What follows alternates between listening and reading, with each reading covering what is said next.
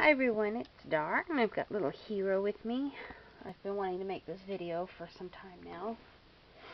Uh, I haven't done much doll videos lately. I've been doing more like makeup brushes, makeup products, things that are that nature.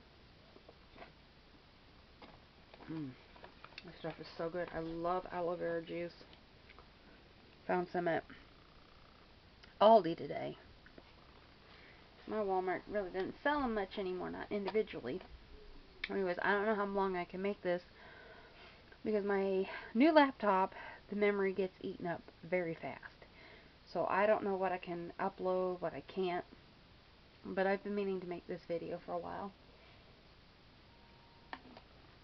And then I want to add what had gone on today. But first, I just want to say I'm not giving up dolls. I'm not going to give up makeup, any of that. This channel started off, I wanted to do makeup with my cousin, but I turned it into like a little hodgepodge of everything. Going to the zoo, um, everyday occurrences, things like that. And I found that dolls do better on this channel. Uh, now, I do have a crafting channel and that's the last of my four that I created, and it's doing pretty well, but I've really been neglecting that one as well. My other two channels, I really neglect them. One hurts too much to go back onto it. but anyway, so, um, no, I'm not going to give up dolls. It's just I like to take a break from it every now and again and do makeup or do things that I've created for them or buy brushes and review them. But you'll see a little of everything. And so, you know, I try to come up with different things that people will like. Well, now today, something had really got me upset. I've had this online friend for almost a month. And, um, you know, I'm not going to say names. I'm not going to say he or she or any of that. So, uh, that's not me. And it's not about that person. It's about what happened. We Skype because that's what friends do. Well, today something popped up and this person has never signed on at that time. And I'm like, what's going on? And they this thing automatically popped up. It was in Russian. So when I went to right click, copy, it, it first came up as some kind of Japanese anime game or something like that. I didn't click on it but then what was right clicked, I sent back to this person. I said, "What's going on? What is this?" I clicked on it, and it looked like a like a Russian dating app for a bunch of older people. You know, like I'm like, okay, I don't know Russian. I don't know how to read this. I don't know what's going on.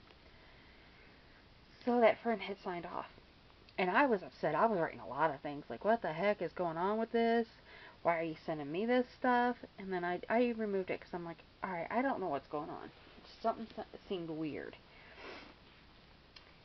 Uh, that person got back on, and I said something back to them, and another thing popped up in Russian, which I tried to click it on my phone, and now my phone went from Google to Microsoft. So I don't know if that, if my phone's being hacked into now. So for that Skype is signed off. I don't want to go back to my old one for a, a certain reason. So I'm going to have to start another Skype and give it to my two best friends. And uh, so anyways, I tried to copy, I clicked on it, then I copied something that said in red. I Google translated it and it has something to do with earning money um, and getting rubles and stuff like that. And I wrote this this friend back and I said, stop sending me this. I don't know what this is. Stop it here they got hacked. That same Japanese anime thing they wanted to look at, and here it was a virus. Now, that friend's got to do some damage control to some of their friends. and I'm like, okay, I understand. Because my Facebook got hacked into over a year ago. Somebody had friend friended me, and I thought they were a friend of one of my coworkers and friends on Facebook. Well, next best friend uh, I had Google image something and sent it. I should not have done it on my part, and that was bad. But it was like maybe an inside joke kind of thing. well, this person didn't know they took that picture and they were sending it to my friends and family. I ruined.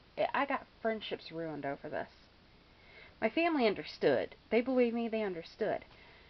Then a year ago today, April 17th, I got my Facebook hacked into again, and I I played you know what getting back into my Facebook account. Uh, so I, I told this friend what happened. I said, I believe you. I just I get so mad because why do people have to do that? Why do people have to create viruses? Why do they have to hack into your Facebook? You know, what enjoyment do people get out of destroying other people's lives? I I just don't get it. I know I probably have hate comments or or something like that, but I I just don't get it. I guess I'm naive. I don't know. I don't want to hack into anybody's anything. If somebody doesn't give me the code to their or their passwords and codes and stuff, then I'm not meant to have it. It's none of my business. You know? Well, anyways.